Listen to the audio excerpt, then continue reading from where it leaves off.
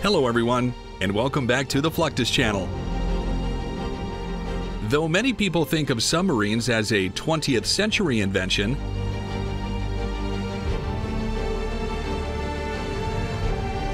these undersea vessels actually date back to the late 1700s.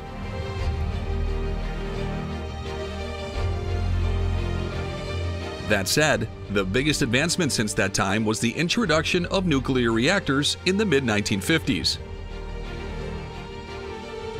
At the time, nuclear fission was becoming more and more popular worldwide. With a nuclear reactor on board, submarines could patrol the seas for much longer intervals.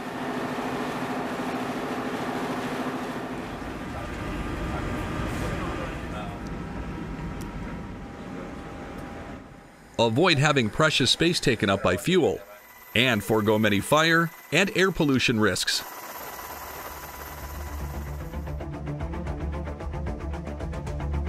Today, nuclear submarines are not only the norm, but also among the most feared ships in the ocean.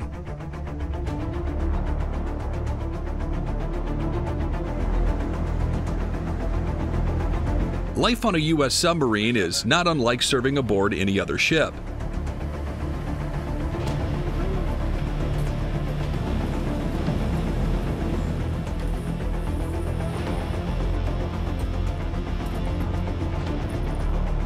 Most time is spent actively working or sleeping.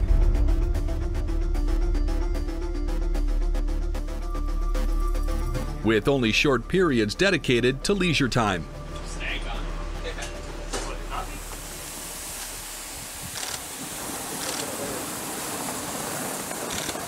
Virginia class subs like the USS New Mexico, which is 377 feet long and 34 feet wide, offer bare minimum space for occupants. Stop, check all three positions. Stop, and load. Though subs do have decks, most of the space is dedicated to missiles and other weapons.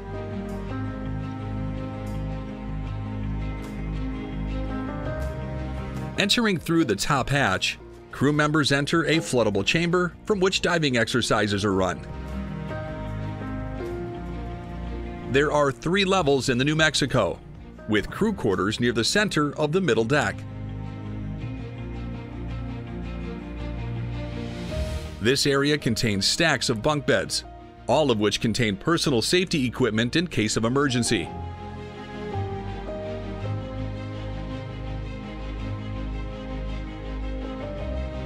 Fire control is the main attack and defense center of the ship.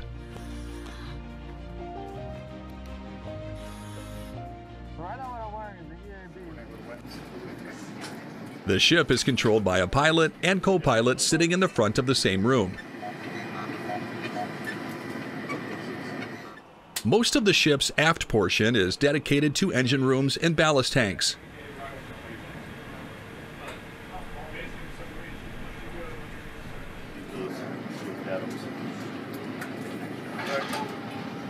But there is also a special torpedo room near the front of the vessel on the lowest floor.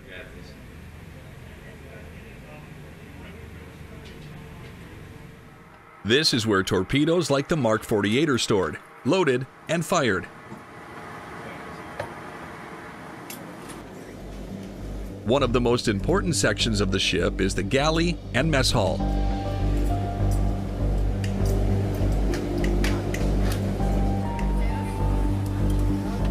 Here in this minimal space, a team of food service specialists must create and serve three meals a day to 130 crew members.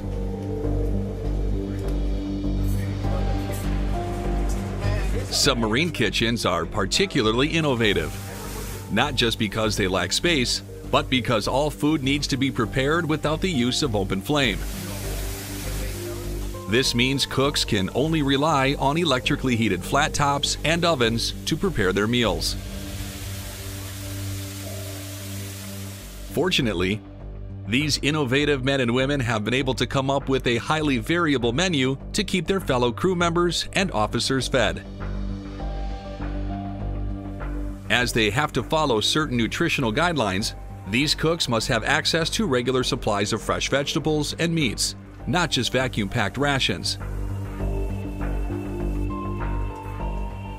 Two, four, three, two, one. Depending on each crew member's duty schedule, they will have six hours of work, six hours of watch, and six hours of free time per day. There are small recreation areas where they can play games and have a gym.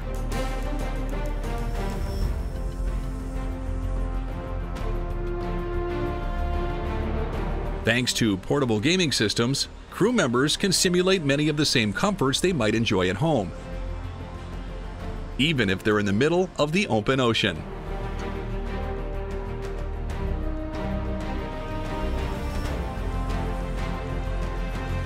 From the kitchen to the crew quarters to the engine room, one of the most important rules aboard any submarine is to avoid doing anything that might cause a fire. In fact, fires have proven to be the most common reason for casualties aboard a sub. And crews frequently train to learn how to prevent and address them.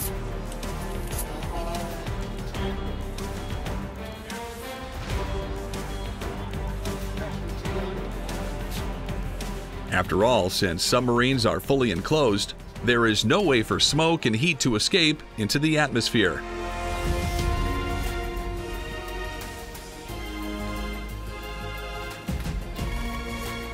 This causes the smoke to rise and occupy the highest spot of the sub. Coincidentally, this is where nearly all of the control equipment sits.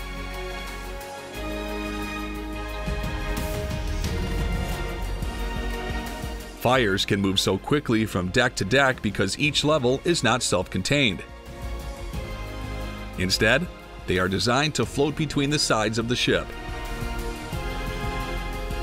The U.S. Navy estimates that, even in the best of conditions, a fire could sweep through an entire submarine in under 30 minutes.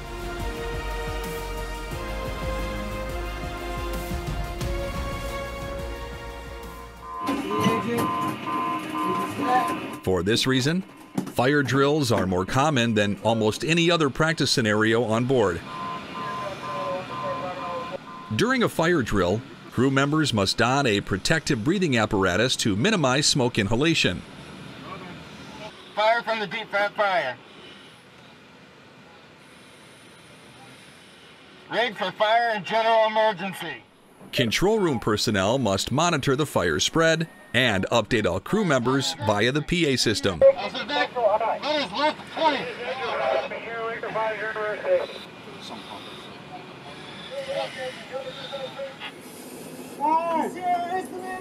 Meanwhile, crew members must fight the fire using hoses spread around the ship.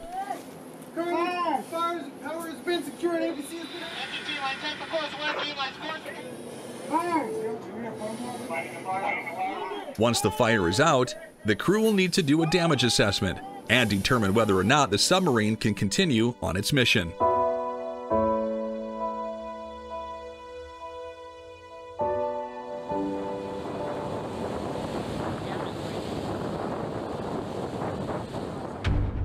Firefighting takes on a completely different form on the ocean surface. For instance, aboard the Nimitz class aircraft carrier USS George H.W. Bush, crew members participate in a general quarter fire drill.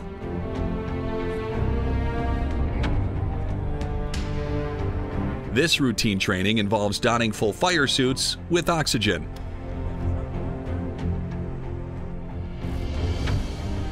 Though the situation is not the same as on a submarine, aircraft carrier fires are just as dangerous.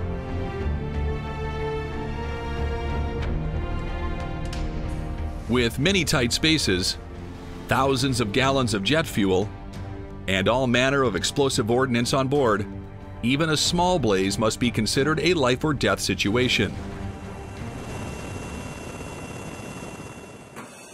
Firefighters are made up of personnel from all over the ship. Their job is to enter the affected area as a team and address the blaze at its source. Special lasers are often used to help firefighters see through the smoke and flames. It's not uncommon for the U.S. Navy to simulate these conditions and give the crew members a more realistic experience.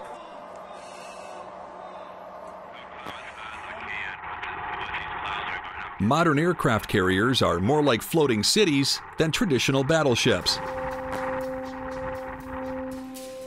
In fact, a Nimitz class carrier like the USS George H.W. Bush is more than 1,000 feet long and boasts a complement of around 5,000 sailors and aviators.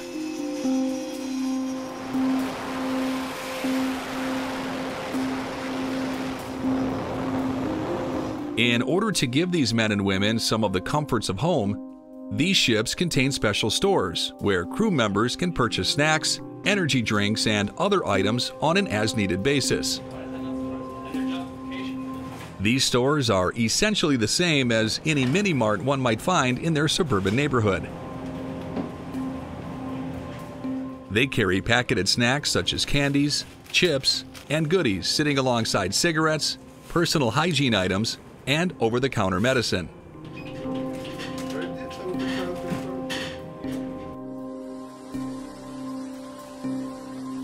Aboard the USS Carl Vinson, crew members have taken their desire for creature comforts even further by installing a premium Starbucks coffee shop.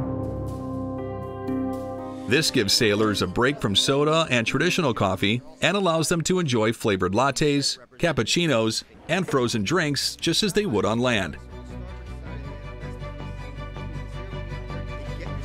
It's worth noting that this coffee shop is the result of a collaboration between the Navy and the Seattle based coffee maker.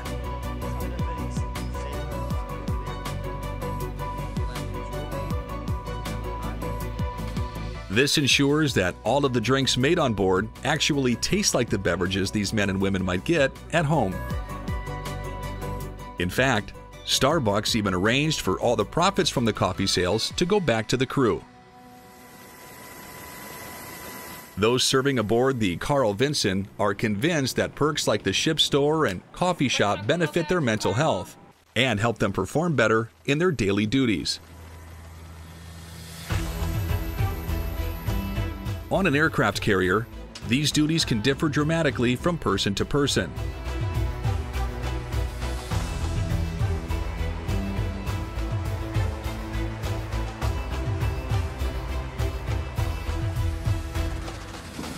In fact, the crew is split up between those who work and run the ship and those assigned to the air wing.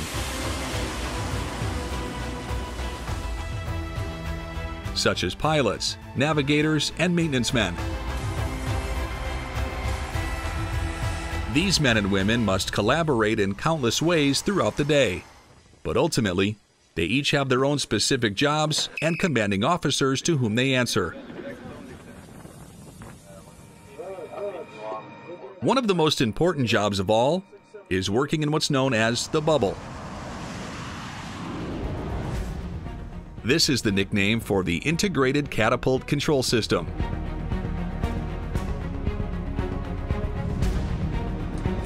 It's actually built into the surface of the ship, giving those inside an eye-level view of the flight deck.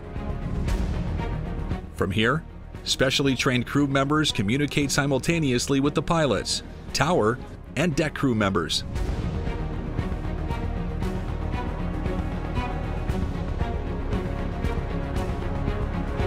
This allows them to essentially control every aircraft launch and recovery to maximize safety and efficiency.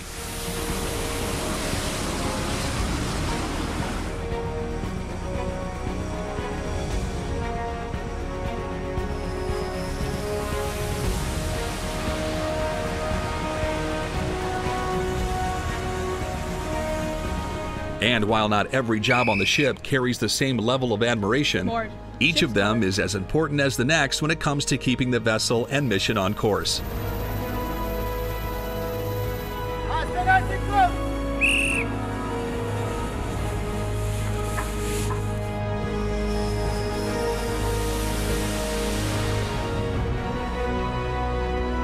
That's the end of this video. I hope you enjoyed it.